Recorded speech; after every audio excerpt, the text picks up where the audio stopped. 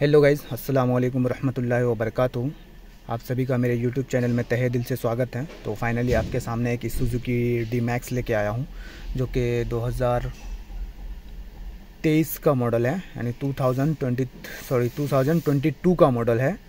तो इसका डैशबोर्ड खोलने जा रहा हूँ, क्योंकि इसका जो है ना इवापोरेटर कोयल लीकेज हो चुका है इस वजह से। तो सबसे पहले मैं गाड़ी चालू करके दिखा दे रहा हूँ। गाड़ी चालू कंडीशन है। सब कुछ बराबर है। बस तलाजा लीकेज है इसका तो इस वजह से मैं इसका डैशबोर्ड खोल के तलाजा रिप्लेस करने वाला हूँ। तो चलो, सबसे पहले बैटरी वायर निकाल देता हूँ और कौनसल बॉक्स खोलना स्टार्ट करता हूँ। तो चलो बैटरी वायर निकाल के आते हैं अपन।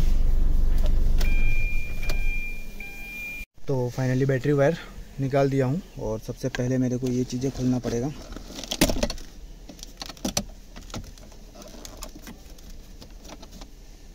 चीज़ें पूरा असेंबली खुलेगा तो ये वाला पहले खुल चुका। उसके बाद इसको खोलना पड़ेगा मेरे को।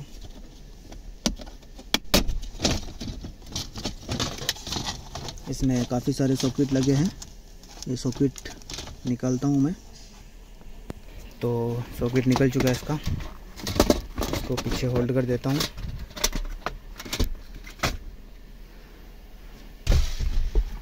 उसके बाद जो है ये पट्टी निकालना चाहते हैं तो निकाल दीजिए। उसके बाद इसके अंदर स्क्रू रहेगा दो स्क्रू है। ये दोनों स्क्रू खोलता हूँ। ये चीज़ें भी निकल जाएगा पहले। तो चलो इसको मैं निकालता हूँ। तो ये चीज़ें निकालने से पहले एक क्लिप इधर है। एक क्लिप इस साइड दिया है। उसके बाद दो स्क्रू इधर है। उसके बाद इसके अंदर एक स्क्रू सामने दिख रहा है।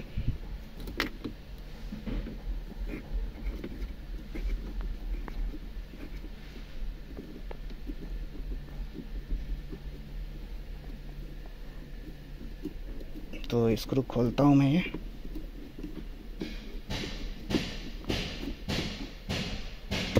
तो फाइनली स्क्रू खुल गया ये। तो अभी अपना निकल गया। तो चलो इसको बाहर लेता हूँ मैं। तो फाइनली ये बाहर निकल चुका।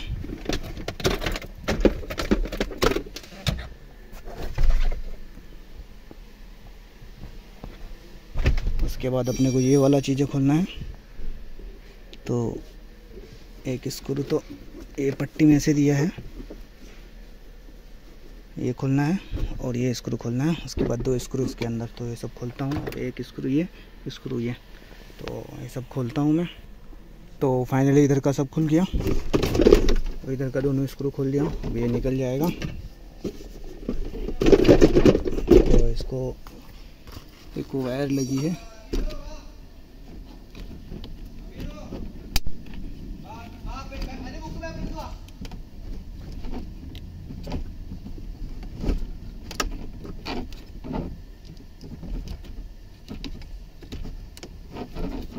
तो इसको निकालता हूँ मैं। तो फाइनली ये, इसको निकाल दिया। पीछे होल्ड कर देता हूँ इसको। अब उसके बाद ये डक्ट खोलना है अपने को। डक्ट यहाँ से खोल दें या फिर यहाँ से निकाल के इसको पीछे ले लें। स्क्रू वगैरह दिया है क्या? नहीं लॉक था तो निकल गया ये। अब उसके बाद अपने को आना है स्टेयरिंग की तरफ़। तो सबसे पहले अपन एयर बैग भी खोल देते हैं। एयर बैग खोलने के लिए इसमें लॉक दिया हुआ रहेगा।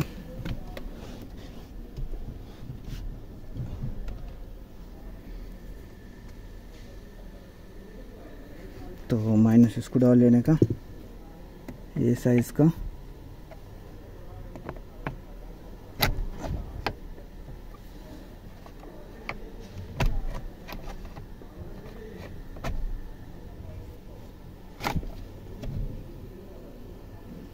लॉक का पोजीशन देख लेना पहले।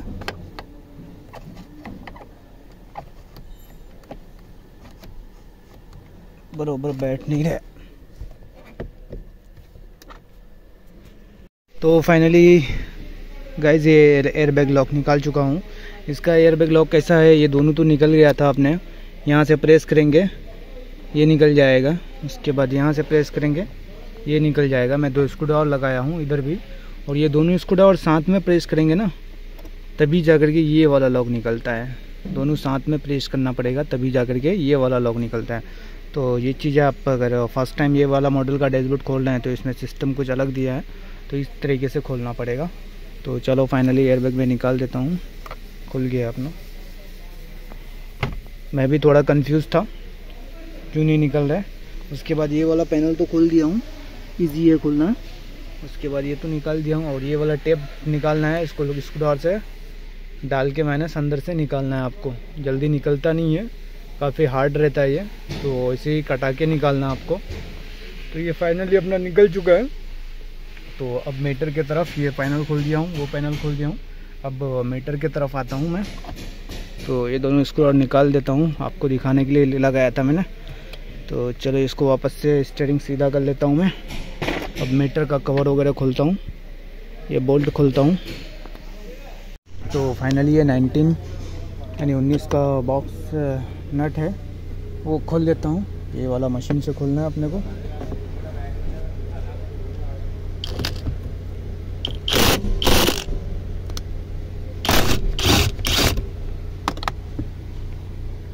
तो ये वाली मशीन से इजीली अपना ये खुल गया।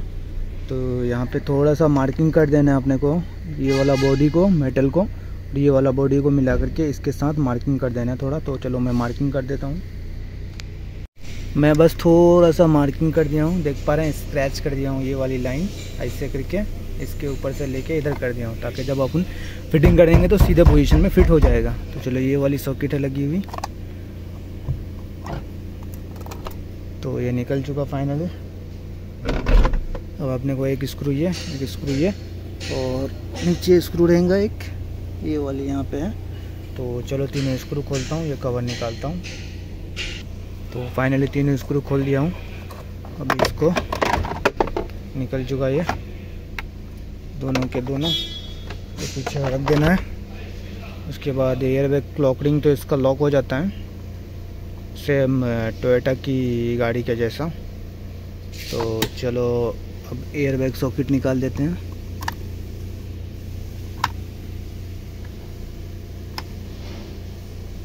क्लॉक रिंग वाला सॉकेट निकाल दिया हूँ सब। तो इसमें एक लॉक यहाँ दिया है और एक नीचे साइड दिया हुआ रहता है।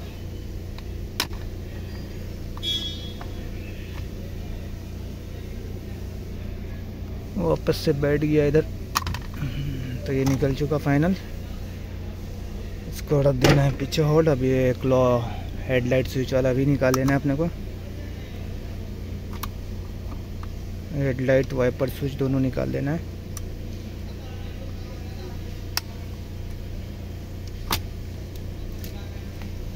इसमें एक क्लिप दिया है ये क्लिप खोल के ये स्विच निकालता हूँ मैं। तो फाइनली ये लॉक भी। इसको, इसका लॉक निकाल दिया हूँ अब ये। इजीली अपना निकल चुका। तो इसको पीछे होल्ड कर देता हूँ मैं भी। अभी ये रही मीटर का खोलना है अपने को। मीटर को हाँ सबसे पहले मीटर ही खुलेगा ये। इससे पहले ये वाला खुलेगा। तो देखना है स्क्रू है क्या? स्क्रू तो नहीं दिख रहा।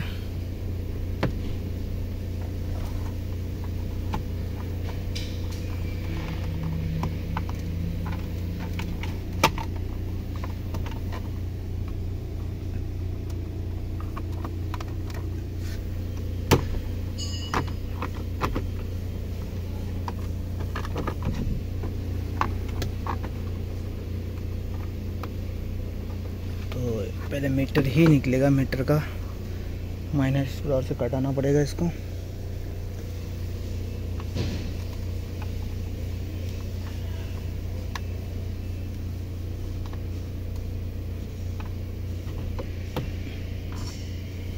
स्क्रैच बहुत होता है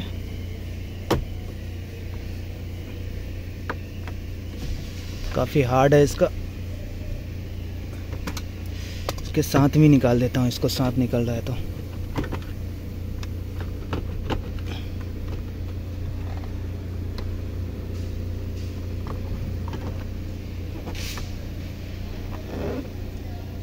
तो चलो इसको निकालता हूँ मैं, एक हाथ से जम नहीं रहा अपने को।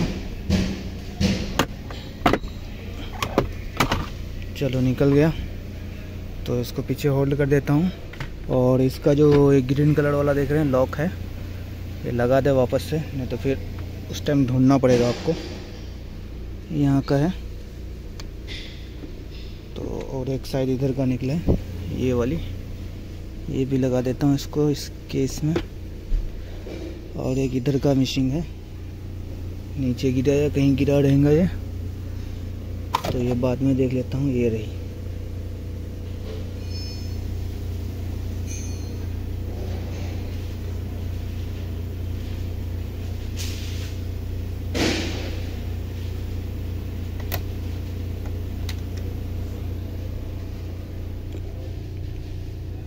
एक ये इधर दो। ये वाला, ये दूसरी वाली दूसरी वाली फ्लैप का रहेगा तो इसको इधर रख देता हूँ। चलो, इसको पीछे होल्ड कर देता हूँ, अब मीटर निकालता हूँ मैं। तो टेप का जो सेटअप है ना, सिर्फ़ ये सब लॉक में रहता है, टिका हुआ। तो ये लॉक जल्दी निकलता नहीं, ये वाली लॉक जो देख पा रहे हैं, ये वाली। तो काफ़ी स्क्रू से प्रेशर डाल के निकालना पड़ता है माइनस वाला स्क्रू से कटा के निकालना पड़ता है। मैं इसको दिखाया नहीं निकालना टाइम तो चलो फिर, इसका ये सब क्लिप निकला हुआ है, ये सब इसमें डाल देता हूँ। उसके बाद मीटर खोलता हूँ मैं। तो फाइनली मीटर का चारों स्क्रू खोल दिया हूँ, अभी मीटर बाहर आ जाएगा।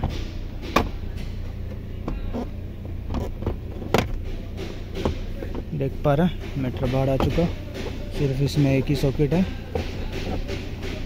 तो सॉकेट को निकाल देता हूँ मैं। सॉकेट भी निकल चुका। अब अपने को ये सब स्क्रू खोलना है।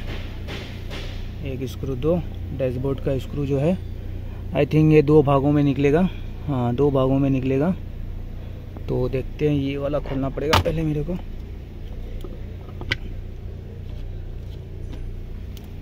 उसके बाद जा कर के निकलेगा अपना कंट्रोल पैनल इससे पहले ये साइड का खोलना पड़ेगा मेरे को। स्क्रू ये है। खोल के ये वाला सेटअप निकालना पड़ेगा। तो चलो उस साइड चलते हैं अपन पहले। तो फ़र्स्ट अपन ग्लो बॉक्स खोलना है। ग्लो बॉक्स खोलने के बाद ये स्क्रू देख पा रहे हैं। एक स्क्रू ये। और इसके अंदर भी स्क्रू खोला हूँ। एक स्क्रू ये। ये स्क्रू खोलने के बाद इधर साइड का पैनल निकाल के यहाँ का स्क्रू भी खोला हूँ। उसके बाद अभी भी ये हिल नहीं रहा है। इधर का खोलना काफ़ी बोले तो इस पहले ये स्क्रू खोल लेता हूँ। सॉरी प्लस वाला किधर है? ये रही प्लस वाला।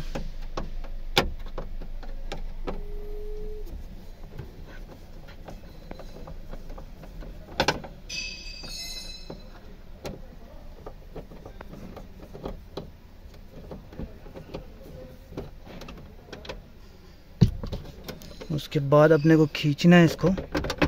अभी भी डाउट लग रहा है कि कुछ ना कुछ लगा हुआ हो कहीं। तो अपने को ऐसे खींच के ही निकालना पड़ेगा। ये देख लेते हैं किधर कुछ तो दिया नहीं है। सब लॉक दिख रहा है मेरे को अंदर से। तो ये खींच के निकल जाएगा। तो चलो इसको खींचते हैं ज़रा। नहीं, काफ़ी जाम है। तो इसको डॉर से मेरे को कटा के निकालना पड़ेगा तो चलो इसको मैं निकालता हूँ कटा के। तो काफ़ी ताकत लगा करके खींचना पड़ा, तभी जा कर के निकला ये। तो देख पा रहे हैं इसका सब लॉक इधर मौजूद है तो इसका लॉक निकाल के इसमें डाल देता हूँ, जितना भी लॉक है। तो फाइनली इधर का तो सब खुल चुका। अब अपने को एयर बैग का जो है ना डैशबोर्ड से जो लगी है, बारह नंबर का एक दिया है, और ये वाला फ़ीस दिया है। ये वाला फ़ीस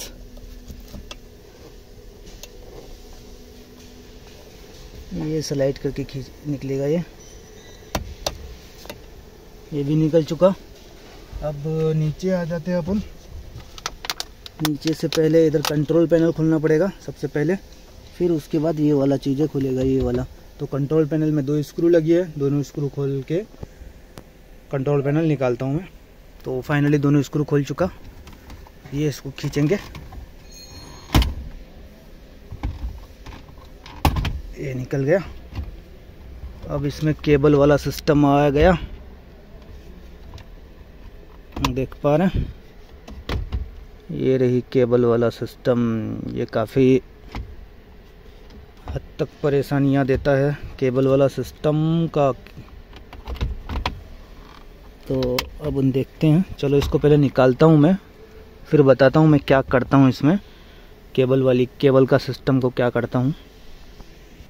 तो गाइज़ फाइनली इसको यहाँ से निकाल दिया हूँ।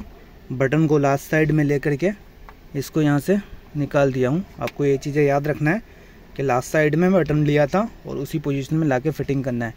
सेम इसका लास्ट साइड में ले लेता हूँ और यहाँ से इसको निकाल देता हूँ। निकल चुका। लास्ट साइड में है। अभी ये घूमेगा नहीं। ये निकल चुका। अब रही अपने को एक आउटसाइड ईयर वाला केबल यहाँ से निकालना पड़ेगा अपने को।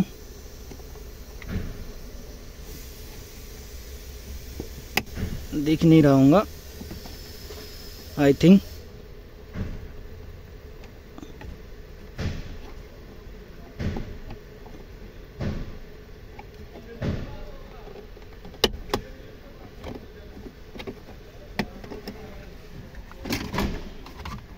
उसके बाद ये रही सॉकेट ब्लोअर का।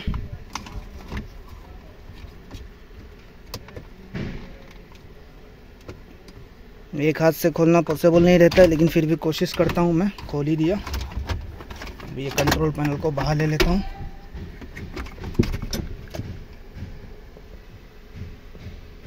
ये कोई वायर में जाके तो फंस गया।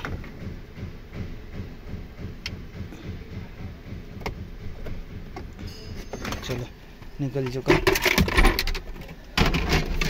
ये हो गया। अब उसके बाद ये चीज़ें निकलेगा अपना।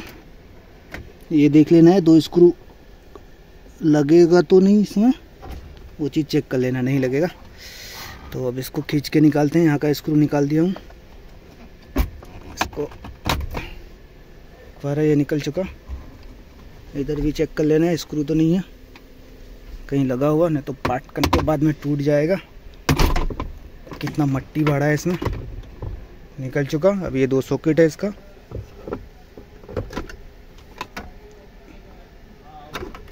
निकल गया और ये। तो ये लॉक जो है, निकाल लेना अभी याद से। बाद में फिर ढूंढना ना पड़े आपको, क्योंकि यहाँ का निकल गया ये लॉक तो चलो इसको निकाल देता हूँ मैं। कवर भी लॉक में बैठा हुआ रहता है सब। एक लॉक निकल गया है इसका। इधर और एक इधर। तो ऐसे ही सुडार से कटा के निकल जाता है ये। उसके बाद चलो अब बाकी ये बारह नंबर और ये डैशबोर्ड का स्क्रू जितना है सब वो खोलता हूँ मैं एक एक करके और फिर डैशबोर्ड निकालता हूँ। तो फाइनली इधर का तो पहले ही खोल दिया था मैं और यहाँ पे स्पीकर रहेगा छोटा वाला। ये सॉकेट रहेगी, ये निकाल देना है और ये स्क्रू खोलना है। ये स्क्रू खोलने के बाद ये डैशबोर्ड दो भागों में निकलेगा इसका। तो देख पा रहे हैं, इधर से हिल रहा है ऊपर वाला और ये लॉक में रहेगा इधर, और ये फोर इंडिकेटर की सॉकेट तो चलो उस साइड कुछ स्क्रू बाकी है, उस साइड का खोलता हूँ मैं। तो अब इस साइड आ चुका हूँ मैं, इस साइड का भी एक लॉक यहाँ है, और सबसे पहले ये स्क्रू खोलना है अपने को। तो वो स्क्रू खोल देता हूँ मैं स्क्रू डबर इधर है।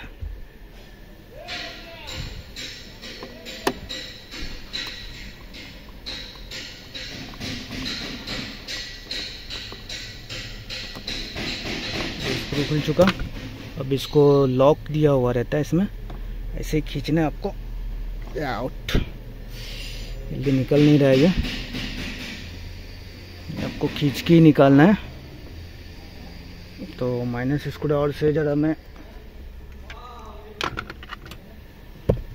दिखाने की कोशिश कर रहा हूँ आपको।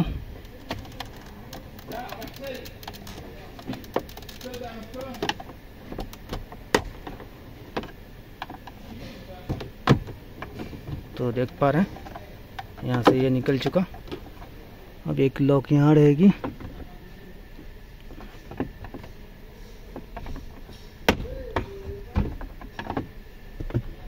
ये निकल चुका, देख पा रहे हैं। और ये फोर इंडिकेटर की सॉकेट निकाल देना है अपने को, याद से। या फिर देख लेना है कि इसका वायरिंग कहाँ जा रहा है। वायरिंग हार्नेस यहाँ आ रहा है, ये वाली। तो इसको सॉकेट ही निकाल दिया मैं यहाँ से। तो अब देख पा रहे हैं।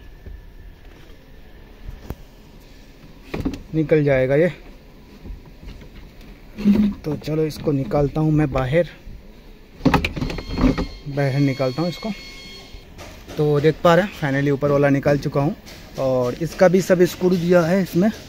ये फ्यूज बॉक्स को दस नंबर यहाँ दिया है फ्यूज बॉक्स को अलग करना पड़ेगा, फिर डैशबोर्ड निकलेगा। तो बाकी सब स्क्रू दिख रहा है मेरे को। तो सब स्क्रू खोलता हूँ मैं, खोल के फिर दिखाता हूँ आपको। तो फाइनली अब सब स्क्रू खोल दिया हूँ, देख पा रहे हैं, ये हिल्ड है। तो चलो इसको बाहर निकाल देता हूँ मैं। कुछ सॉकेट विकेट रहेगी किधर, इधर, उधर। तो देख लेना आप, एक सॉकेट क्लिप यहाँ दिया है। इसको खोल देता हूँ, पर बाकी सब बाहर आ जाएगा। तो चलो बाहर निकालता हूँ मैं। तो फाइनली देख पा रहे हैं, ऊपर का कवर भी निकाल दिया हूँ। अब मेरे को एंगल खोलना है। एंगल के साथ क्लाइमेट कंट्रोल यूनिट आएगा या नहीं आएगा, या फिर मैं इसको एंगल को अलग ही खोलूँगा। तो क्या करता हूँ, वो चीज़ें आप खुद देख लीजिएगा। तो चलो फिर मैं इसको खोलने के लिए लग जाता हूँ। तो फाइनली इसमें मैं सबसे पहले ये डक निकाल देता हूँ, क्योंकि अपने को एंगल अलग निकालना है और क्लाइमेट कंट्रोल यूनिट अलग निकालना है। तो इसके लिए सबसे पहले मेरे को स्टेयरिंग को नीचे ले लेना है। तो स्टेयरिंग नीचे लेता हूँ। उसके बाद बाहर से जितने भी बारह नंबर या तेरह नंबर जो भी दिया है, इसको खोलता हूँ। और इधर का तो बारह नंबर है। और वायरिंग का जो है सेटअप ये खोलना पड़ेगा। ये वायरिंग अलग करना पड़ेगा। यहाँ से इतनी सारी सॉकेट खोलनी पड़ेगी मेरे को। उसके बाद ये वाली वायरिंग का, ये वाला सॉकेट खोलना पड़ेगा। देख पा रहे एक इधर दिया है, ये सब, और ये सब खोलना पड़ेगा। उसके बाद पीछे तो ये इसके साथ ही आएगा, इधर खोलने की ज़रूरत नहीं है। ये वाला वायरिंग अलग कर देना है अपने को, यहाँ से। ये तो अलग है ये पहले से। उसके बाद ये बोल्ट खोलना है क्लाइमेट कंट्रोल यूनिट का जितना भी बोल्ट दिया वो सब खोलना है। ये अर्थिंग का, ये दोनों खोलना है। यहाँ से अलग करना है। उसके बाद ये ओबीडी सॉकेट का, इसको भी अलग करना है, क्योंकि यहाँ से लिया है। यहाँ से सॉकेट निकाल देंगे तो भी चलेगा, क्योंकि इसके बाद ही उधर गया है। उसके बाद जो है ये एयर बैग वाला। इस साइड का बता रहा हूँ। और उस साइड से जो है, अपने को ज़्यादा कुछ खोलने की ज़रूरत नहीं है ब्लोर की। और ये एक सिंगल सॉकेट रहेगा, इतना बड़ा वाला जो दिख रहा है, वो खोलेंगे, निकल जाएगा। तो चलो, ये सब मैं खोलता हूँ, जितना मैं आपको बताया। तो गाइस इधर से, इस साइड से, यहाँ से इधर, सब कुछ खुल चुका है अपना। तो सबसे पहले स्टरिंग बॉक्स तो नीचे ले लिया हूँ। ये दो आगे रहता है बारह नंबर, दो पीछे साइड रहता है बारह नंबर। उसके बाद एक यहाँ बारह नंबर है। उसके बाद बस इतने इतना ही काफ़ी, और ये सारी सॉकेट खोलना पड़ा मेरे को। उसके बाद ये वाली सॉकेट उसके बाद ये मॉड्यूल को इधर ही रख दिया हूँ। और इधर से सब बारह नंबर, एक दो बाहर से है, एक अंदर से है तीन। और उसके बाद ये ऊपर वाली सॉकेट खोलना पड़ा। और इधर यहाँ से दस नंबर, यहाँ से बारह नंबर, और ये अर्थिंग का दोनों दस नंबर, ये ओबीडी सॉकेट का ये वाला सॉकेट यहाँ से कनेक्शन दिया, ये खोलना पड़ा। उसके बाद इधर आ जाइए आप, ये एयरबैग वाली सॉकेट अब चलते हैं उधर। उधर से क्या क्या खोलना पड़ेगा? ये दोनों क्लिप ये क्योंकि ये क्लाइमेट कंट्रोल में लगा था क्लिप इसकी वजह से दोनों क्लिप निकाल दिया हूँ। उसके बाद इस साइड चलते हैं अपन। ये दस नंबर खोलना पड़ेगा, उस साइड चल के खोल के फिर दिखाता हूँ मैं आपको। तो फाइनली इस साइड से यहाँ पे एक दस नंबर था, वो खोल चुका हूँ। और ये वाली वायरिंग में रजिस्टेंट का सॉकेट लोड का सॉकेट और ये वाला सॉकेट यहाँ से खोलना पड़ेगा।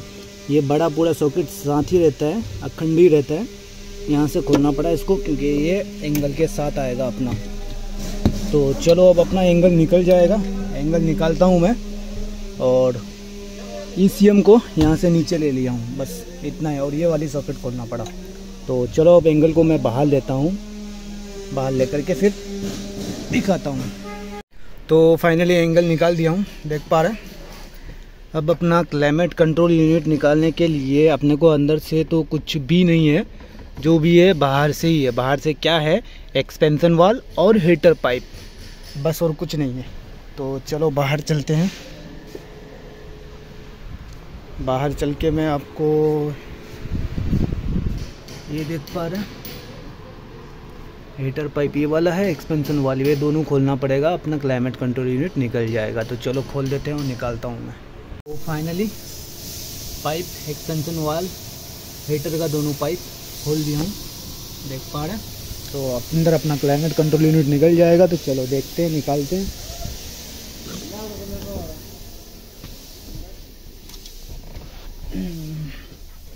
तो देख पा रहे हैं, ये वाला जो है ना ये जो सेटिंग रहती है ना इसका, बहुत बेकार सेटिंग रहती है। अगर इधर से खोल देना इसको तो सेटिंग करने में काफ़ी टाइम जाता है, बस बाकी और कुछ नहीं। तो चलो इधर से मेरे को हीटर का पाइप निकाला नहीं था मैं सॉरी वाटर पाइप यानी ड्रेन पाइप निकाला नहीं हूँ। नीचे दिया रहेगा इसका। इस साइड या इस साइड दोनों में से कहीं एक साइड दिया, इधर दिया है। ये वाली। तो इसको घुमा के थोड़ा सा निकाल दें। काफ़ी बैठा है, पूरा जाम है। निकल गया। अब अपना क्लाइमेट कंट्रोल यूनिट निकल जाएगा। और एक दस नंबर नीचे खोलना बाकी है मेरे को। बस ये खोलता हूँ और क्लाइमेट कंट्रोल यूनिट देख पा रहे हैं। पूरा हिल रहा है, बस ये दस नंबर लग रहा है अपने को। तो इसको खोल के बाहर निकाल के दिखाता हूँ आपको डायरेक्ट तो फाइनली बाहर निकाल दिया हूँ।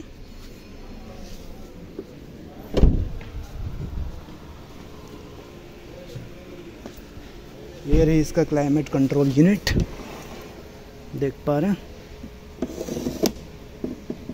तो अब चलो इसको मैं खोलता हूँ। खोलने के लिए क्या क्या प्रोसीजर है?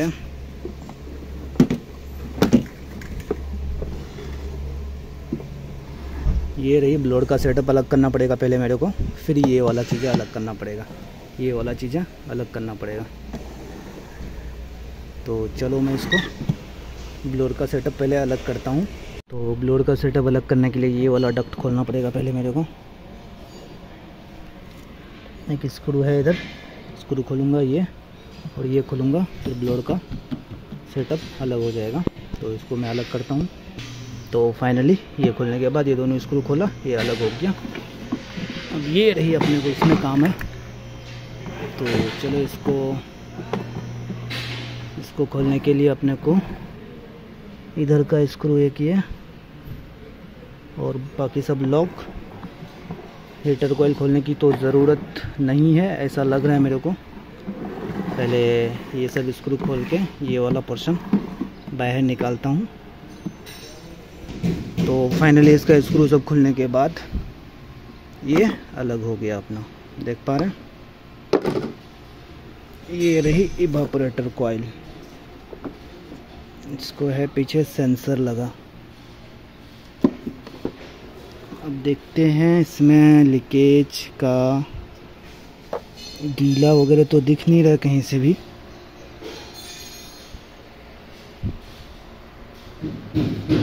आई थिंक इधर से रहेगा लीकेज, क्योंकि इधर गर्मी इतनी पड़ती है कि ऑयल वगैरह अगर रहता है, काफ़ी टाइम से अगर एसी चालू बंद रहता है तो सूख करके ये एग्जॉब कर लेते हैं।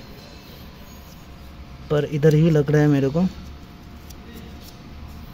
तो चलो इसको कैंसिल करता हूँ। अब नया वाला दिखा देता हूँ मैं आपको। ये रही नया न्यू ओरिजिनल है। कंपनी से आया हुआ माल है ये। तो जब सबसे पहले मैं इसको ज़रा मट्टी वगैरह इसका क्लीन कर देता हूँ, क्योंकि बाद में ऐसा बर्चन कर सकता है। अभी खोला हूँ तो इसको क्लीन कर ही देता हूँ। तो चलो क्लीन करके फिर इसको फिटिंग करता हूँ तो फाइनली नया वाला फिटिंग कर दिया। इसका सेंसर लगा दिया हूँ इधर। तो चलो अब इसका कवर लगाता हूँ ऊपर। तो फाइनली प्रॉपर तरीके से फिट हो चुका, देख पा रहे हैं। सब प्रॉपर तरीके से फिट हो चुका। तो चलो अब इसको मैं गाड़ी के अंदर डालता हूँ। तो फाइनली क्लाइमेट कंट्रोल यूनिट डाल दिया हूँ। एंगल लगाने के बाद ही आपको बाहर का फिटिंग करना है। क्यों? क्योंकि अंदर से कुछ दिया नहीं है क्लाइमेट कंट्रोल यूनिट तो आप उधर से लगाएँगे हीटर पाइप वगैरह तो ये फिर वापस से अंदर आ जाएगा तो लगेगा नहीं। पहले एंगल बैठा देना है, उसके बाद जा करके कुछ करना है आपको। तो चलो एंगल बैठा देता हूँ मैं। तो फाइनली एंगल बैठा दिया हूँ। अब मैं चलता हूँ बाहर। बाहर का फिटिंग करता हूँ। एक्सपेंशन वाल के पास का ज्वाइंट और हीटर का बाद में भी करेंगे, क्योंकि अभी अंदर लंबा काम है। पहले एक्सपेंशन वाल का ज्वाइंट फिट कर देता हूँ, और उसके बाद प्रेशर मारता हूँ इसके में। प्रेशर मार के छोड़ देंगे इसको। होल्ड कर देंगे कि प्रेशर सही रहता है या फिर ड्रॉप होता है। तो चलो, पहले लगाते हैं इसको। तो फाइनली इधर प्रॉपर तरीके से यहाँ फिट हो चुका सब। एक्सपेंशन वाल हीटर का पाइप और ये लो वाले में लगा दिया हूँ। और ये हाई वाले मीटर में से कनेक्शन कर दिया हूँ क्योंकि अपने को प्रेशर मारना है। और ये वाला लाइन कंप्रेसर में है। प्रेशर वाली लाइन में तो इसको ऑन कर दिया। प्रेशर बढ़ बढ़ रहा है। देख पा रहे हैं।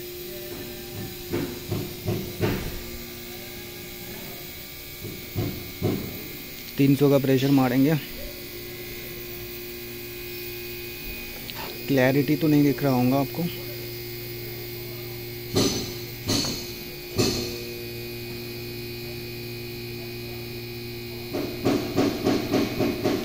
300 पे आने वाला है।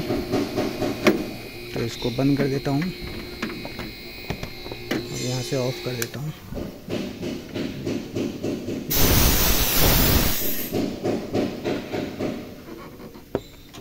अब इसको होल्ड कर देता हूँ मैं। यहाँ से खोल देता हूँ।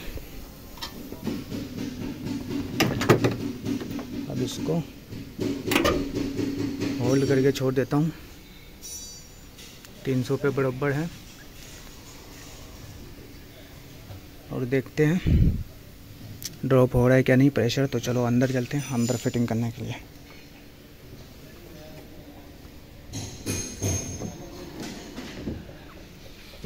तो अंदर अपना एंगल वगैरह सब डल चुका है क्लाइमेट कंट्रोल वगैरह सब डल चुका है। अब मेरे को धीरे धीरे फिटिंग करना है तो चलो ये सब मैं फिटिंग करता हूँ। तो गाइज़ फाइनली एंगल का जितना भी वायरिंग वगैरह सब खोला था, सब फिट हो गया। अब अपने को नीचे का डैशबोर्ड डालना है। तो चलो नीचे का डैशबोर्ड डाल देता हूँ मैं। तो फाइनली नीचे का डैशबोर्ड भी डाल दिया।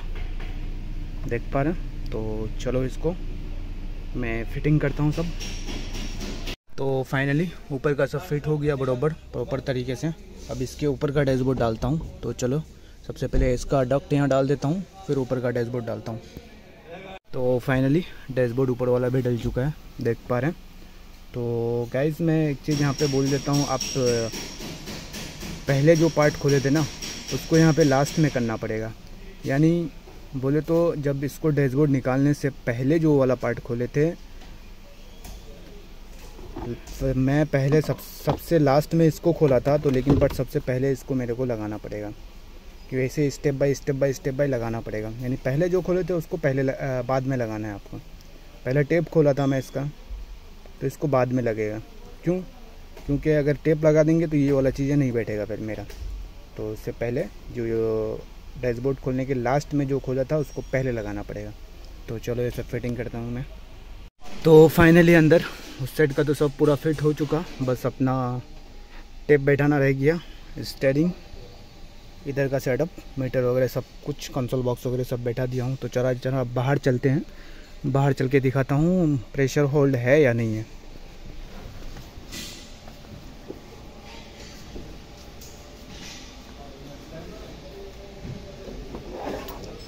तो देख पा रहे हैं प्रेशर अब तक का होल्ड है। तो अब प्रेशर छोड़ देता हूँ।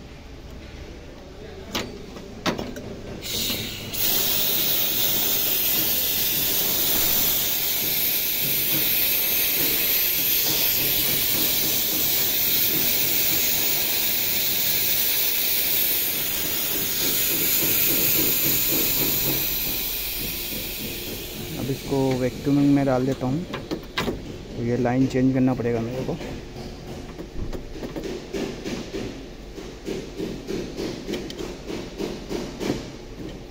इसमें लगाना पड़ेगा।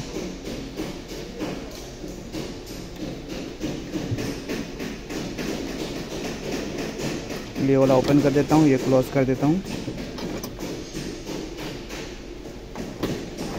येलो वाली लाइन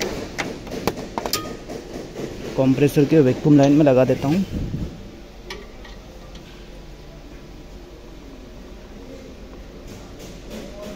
कंप्रेसर चालू कर देता हूँ।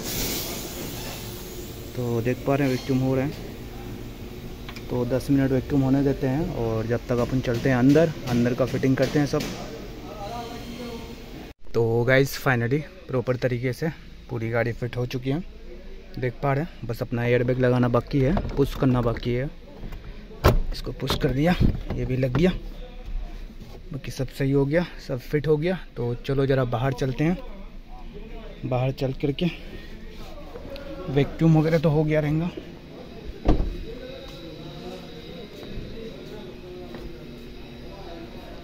वैक्यूम कंप्लीट हो गया रहेगा अपना, देख पा रहे हैं।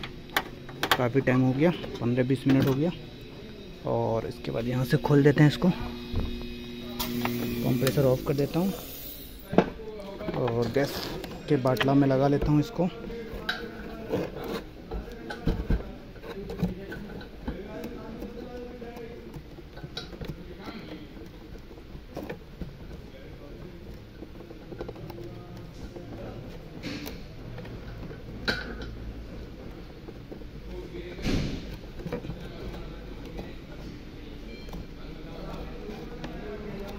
तो यहाँ से गैस ओपन कर देता हूँ। और इसको पलटी मार देता हूँ और दूसरा बैटरी वायर लगा देता हूँ मैं और अंदर से गाड़ी चालू करके फिर फ्री ऑन मारेंगे अपन। तो चलो बैटरी वायर ये सब काम कर लेता हूँ मैं। तो बैटरी वायर लग चुका अपना और गैस का बाटला पलटी मार के रख दिया हूँ। अब चलो अंदर चलते हैं, गाड़ी चालू करता हूँ। तो इग्निशन ऑन था अपना, इसकी वजह से लाइट वाइट दिखा रहा है। ऑफ़ करता हूँ, चलो अब चालू करता हूँ गाड़ी। न्यूट्रल देख लेता हूँ। न्यूट्रल कर दिया। क्लच दबा दिया हूँ। गाड़ी चालू हो चुकी है। देख पा रहे हैं। बस seat belt tyre pressure light जो कि पहले से भी आता था, और फ्यूल का लाइट बस इतना ही आ रहा था। तो चलो ज़रा मैं एसी ऑन कर लेता हूँ यहाँ से। एसी ऑन हो चुका तो ये आउटसाइड का चेक कर लेना बरोबर चल रहा है ये चेक कर लेना। सही है।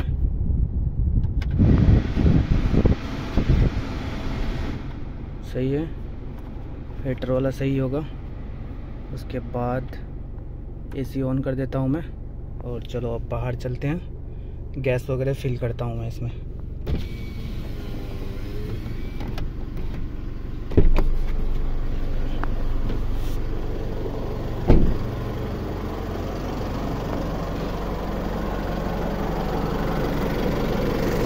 ये लाइन यहाँ से खुली है टिकट पर कंप्रेसर ऑफ़ है तो गैस डालता हूँ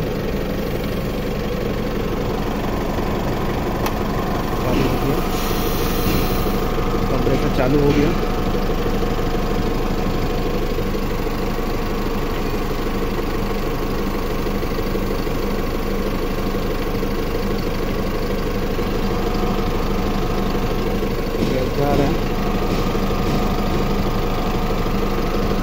तो चलो इसमें मैं फुल गैस चार्जिंग कर लेता हूँ और अंदर कूलिंग टेम्परेचर दिखाता हूँ कि कूलिंग टेम्परेचर इसका कितना आता है।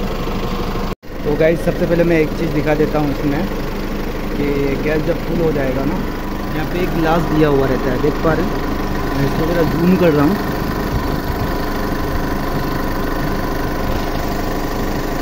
ये देख पा रहे हैं? यहाँ पे अभी गैस का बबल्स आ रहा है तो मतलब गैस फुल हुआ नहीं है। जब पूरा क्लीन हो जाएगा, फिर गैस, यहाँ से मैं गैस छोड़ रहा हूँ। आप देखिए यहाँ पे। देखिए, अभी भी बबल्स आ है। अभी भी गैस फूल नहीं हुआ इसमें।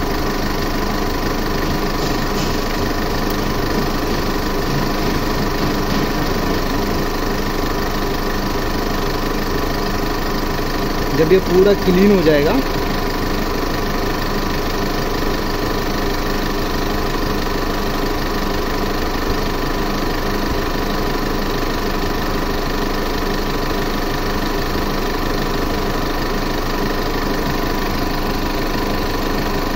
तो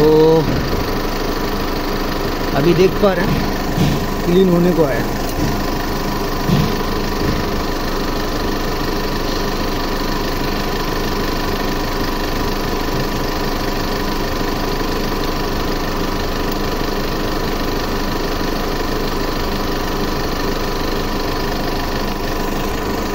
तो यहाँ पे देख रहे हैं, पूरा क्लीन हो चुका है। ज़्यादा भी बबल नहीं आ रहा है। तो यहाँ से आप चेक कर सकते हैं गैस फुल हुआ क्या नहीं हुआ। चलो अब अंदर चलते हैं। कूलिंग टेम्परेचर वगैरह मैं आपको दिखाता हूँ। तो फाइनली गाड़ी के अंदर आ चुका हूँ। अब देख पा रहे पूरा गाड़ी चिल्ड हो रही है, लेकिन बट आपको वहाँ से समझ में नहीं आएगा तो इसकी वजह से मैं थर्मामीटर यूज़ करके आपको दिखा रहा हूँ बस। तो थर्मामीटर ऑन कर चुका हूँ सेंटीग्रेड पे है थर्मामीटर और गाइज़ मैं आपको जो दिखाया उधर, वो ग्लास में गैस तो गैस कम रहेगा ना तो वहाँ पे बबल्स आने लगेगा। और गैस जब फुल हो जाएगा ना तो वो बिल्कुल क्लीन हो जाएगा। आपको मालूम ही नहीं पड़ेगा, वहाँ से कुछ सर्कुलेशन हो रहा है। इधर से उधर जा रहा है। आपको कुछ मालूम नहीं पड़ेगा। जब मालूम नहीं पड़ेगा तो समझ जाना कि गैस फुल हो चुका है। तो बस यही सब चीज़ें हैं कि मैं आपको दिखा रहा हूँ, बस बाकी और कुछ नहीं। और यहाँ से भी रिटर्न लाइन से भी आप चेक कर सकते हैं कि गैस फुल हुआ क्या नहीं है। मीटर लाइन से भी चेक कर सकते हैं। हाई प्रेशर से भी चेक कर सकते हैं। बहुत सारा तरीका है गैस फुल हुआ क्या नहीं हुआ चेक करने का। तो आउटसाइड का एयर बंद रखना, कभी भी एसी चालू रखोगे तो क्योंकि आउटसाइड का एयर आएगा ना तो आउटसाइड एयर कैसा रहता है कि बाहर की क्लाइमेट का एयर जब मिक्स होगा ना तो तुम्हारे कूलिंग में इफ़ेक्ट करेगा। कूलिंग होने नहीं देगा। तो देख पा रहे हैं 5.8 पे आ चुका है कूलिंग 5.9 6 6.1 6.2 अभी भर रहा है ट्रिप मारा रहेगा कंप्रेसर 6.4 6.6 इसी पे आ रहा है, यानी कूलिंग बराबर हो रहा है इसका। तो गैस और कुछ नहीं, बस ये सब चीज़ें छोटी मोटी जो मुझसे हो रहा है, मैं वही सब चीज़ें बस आप लोगों को दिखाने और बताने और आगे आप लोगों को कोई काम में फंसना, फंसे ना, इसके वजह से बस ये सब चीज़ें दिखा रहा हूँ। बाकी और कुछ नहीं तो चलो फिर जब तक के लिए बाय बाय टेक केयर अल्लाह हाफिज़। नेक्स्ट वीडियो में मिलते हैं अपन।